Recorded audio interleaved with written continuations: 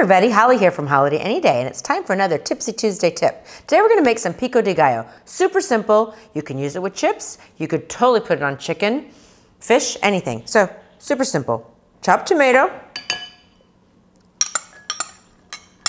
Chopped white onion. You could use red onion. Chopped cilantro. Minced garlic. Minced seeded jalapeno. Keep the seeds if you want it more spicy.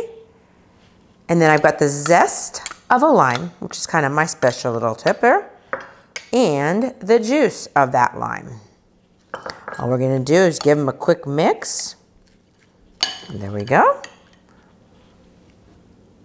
Pop them in our pretty little bowl with our chips.